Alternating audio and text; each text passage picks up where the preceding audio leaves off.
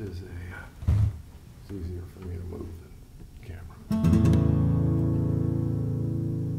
This is one of a series of instruments I'm collaborating, uh, collaboratively uh, putting together for a fellow who buys some of my stuff, quite a bit of my stuff.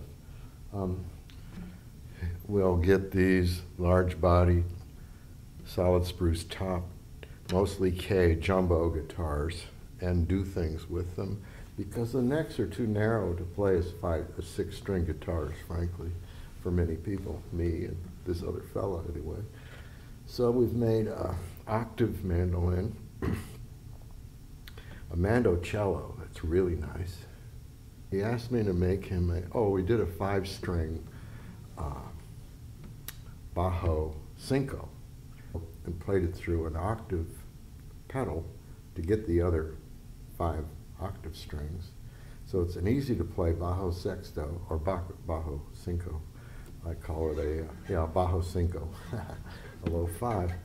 Um, then I made him a five string guitar banjo, a Gitjo that probably played in the key of E and used the, uh, the full length instead of pegging the string. You can make them either way depending on the key. If you make them play in the key of E, you can get this string here, the high E now, to be up here. this one he asked me to make a five string guitar banjo an octave lower. So what your normal G string on a banjo would be here, would be like a 16. Um, it's up here, but it's 22 because it's a G on a guitar. Uh, the scale's a little shorter. It's a long scales. It's 25 and three quarters. 25 and 7 eighths when you measure it because intonation. Anyway, the thing is, uh, is the most cello-like guitar instrument, plucked instrument that I've been familiar with. Uh, believe it or not, I'm thinking of it in terms of cello more than uh, banjo. So I play the five string a little bit in my own styles. It makes it look like like I know what I'm doing. There's only one of these in the world, that's for sure.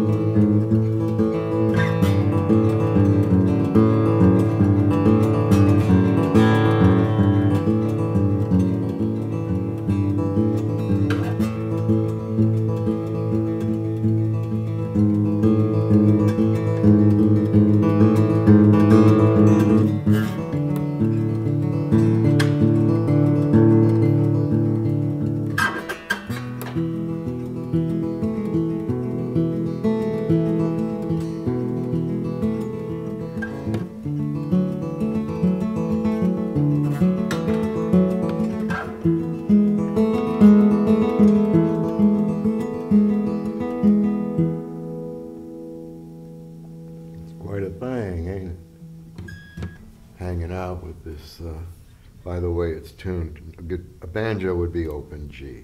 And I tried this in open G, and uh, it was just so low. Um, I felt it was too low. Um, also, the strings I had picked uh, really woke up when I wound it up to A. This would play down in G if you make these strings one level heavier. This is a 52, right? So this is tuned A, E, A, C sharp, E. And a banjo would be G, D, G, B, D. Um, we're just up two frets. Um, anyway, this is a 22, 52, 42, probably a 38 maybe. And I think this is probably a 32, the D, roughly. It's okay. As I said, it is played like a five-string ban banjo.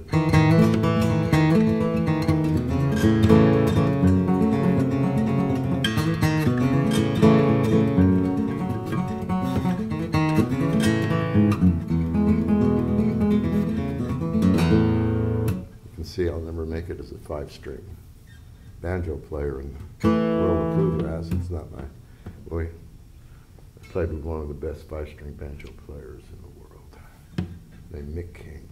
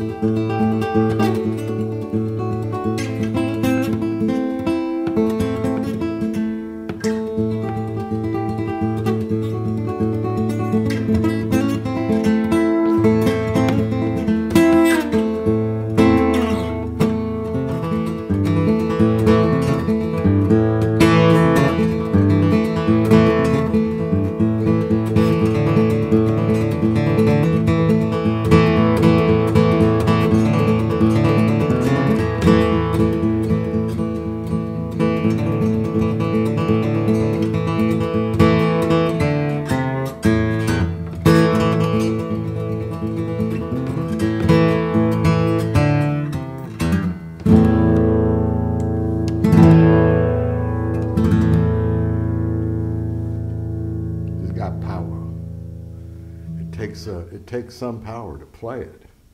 Um, About, definitely more than if you're picking a five string unless you're really trying to get heard in a bar or something. Um, uh, It's another reason I'm not putting on the 54s and going to G. Uh, This is uh, from the Earl Scruggs book. This came from uh, Last Date, Floyd Cramer. Earl's, her, his translation into the five-string banjo that this is the uh, Floyd Cramer riff. Used it, just, this is the Floyd Cramer riff, just this one little hammer. The rest is mine. It's actually a washing machine counting. What a